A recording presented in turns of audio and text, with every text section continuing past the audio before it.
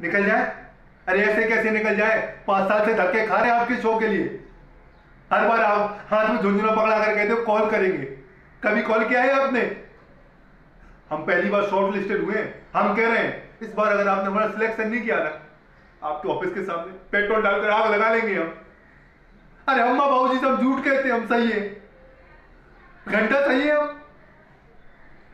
अरे गाँव में किसी को मुँह दिखाने के लायक नहीं रह गए अरे हमारे अंदर जो टैलेंट है वो आप नहीं देखोगे तो कौन देखेगा? हमारे गाँव वाले। बढ़िया, कहते निकल जाओ। अरे क्यों निकल जाए हम?